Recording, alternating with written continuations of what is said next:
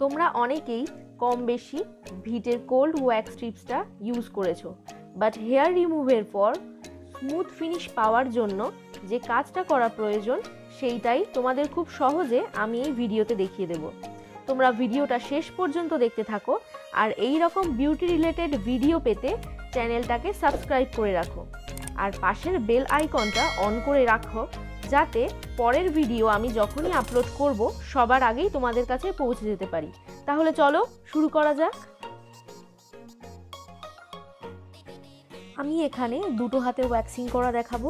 সেই জন্য ninety nine রুপিজের ভিডের যে প্যাকেটটা কিনেছি, এতে চারটি ওয়্যাক্স স্ট্রিপস একসাথে জয়েন করা থাকে। তো তোমরা তোমাদের বডির অন্যান্য পার্টসে যদি করতে চাও, তাহলে বড় প্যাকেট কিনবে। এতে তোমাদের লাভটা বেশি হবে। আমি এখানে নর্মাল স্কিনেরটা ইউজ করছি। এছাড়া ড্রাই ও সেন্সিটিভ স্কিনেরও আলাদা প্যাকেট পাওয়া যায়। তোমরা কেনার সময় নিজেদের স্কিন টাইপ অনুযায়ী দেখে কিনো। এই কাগজে কীভাবে ইউজ করব সমস্তটাই লেখা আছে আর আমি তোমাদের স্টেপ বাই স্টেপ সব দেখিয়ে দিচ্ছি। ওয়্যাক্সিং ইউজ করার আগে শুকনো হাতে ভালোভাবে স্কিনটার ওপর ঘষে নিচ্ছি। তো এবার আমি স্ট্রিপ দুটি একটু রাব করে নিচ্ছি ভালোভাবে, যাতে এর ভেতরের প্রোডাক্টটা ঠিকভাবে ছড়িয়ে যায়। আস্তে করে স্ট্রিপ দুটিকে ছাড়িয়ে নিচ্ছি। এরপর খুব ভালোভাবে স্কিনের ওপর বসিয়ে নিতে হবে আর স্কিনটাকে একদম টাইট রাখতে হবে। স্ট্রিপটি তোলার সময় খেয়াল রাখতে হবে। লোমের বিপরীত দিকে যত তাড়াতাড়ি সম্ভব টান দিয়ে তোলা যায়। বিপরীত দিকে না টানলে সেক্ষেত্রে তোমরা ভালো রেজাল্ট কিন্তু পাবে না।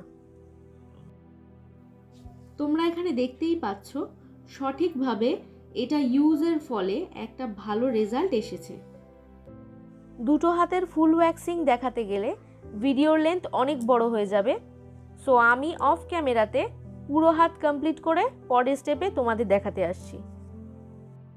অলমোস্ট আমাদের ওয়্যাক্সিং কমপ্লিট ক্লায়েন্টের হাতের কিছুটা ট্যানও রিমুভ হয়ে গেছে।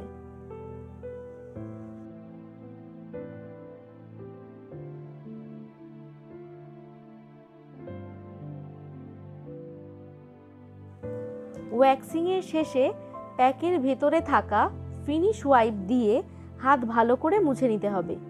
এর ফলে স্কিনের ওপরে যে চটচটে ভাব থাকে, তা খুব সহজেই দূর হয়ে যাবে।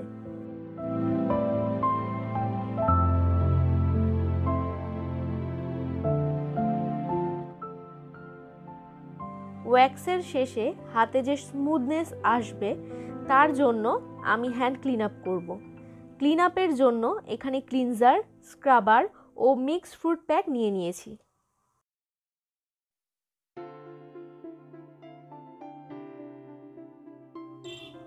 ক্লিন আপের আগে হাত ভালোভাবে ভিজিয়ে নিচ্ছি ফার্স্ট আমি ক্লিনজার ইউজ করব। ক্লিনজার দিয়ে হাত ভালো করে মাসাজ করব।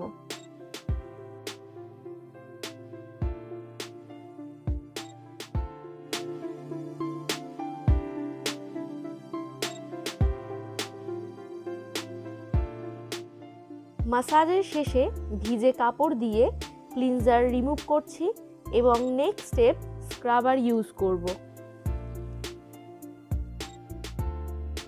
আমি নর্মাল স্ক্রাবার ইউজ করছি। তোমাদের যাদের অনেক ট্যানের সমস্যা আছে, তারা এক্ষেত্রে ডি ট্যান স্ক্রাবার ইউজ করলে ভালো রেজাল্ট পাবে।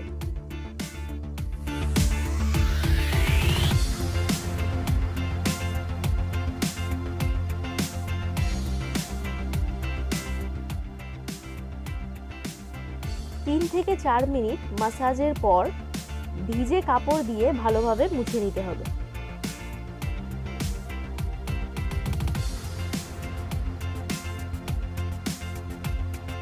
এবার আমরা ভালোভাবে পুরো হাতে প্যাক অ্যাপ্লাই করে সেটাকে 10 থেকে পনেরো মিনিট রেখে দেব। এরপর শুকিয়ে গেলে ভিজে কাপড় দিয়ে প্যাকটিকে রিমুভ করব।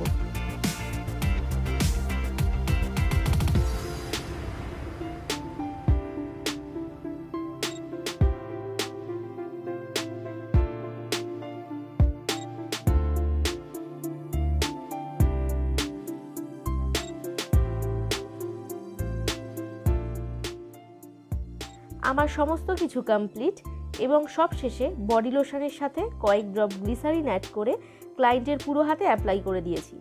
তোমরা দেখতেই পাচ্ছ যে স্কিনে খুব সুন্দর একটা স্মুথনেস আর গ্লোয়িং একটা এফেক্ট দিচ্ছে। ভিডিওটা ভালো লাগলে লাইক কমেন্ট ও বন্ধুদের সাথে শেয়ার করো। দেখা হচ্ছে নেক্সট ভিডিওতে বাই